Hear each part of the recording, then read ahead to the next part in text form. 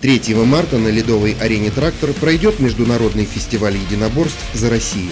Главным событием станет бой миасского боксера Константина Пономарева с аргентинцем Луис Алехандро Морено.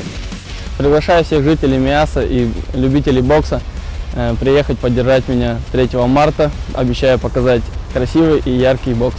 3 марта, начало в 17 часов. Билеты в зрелищных кассах города.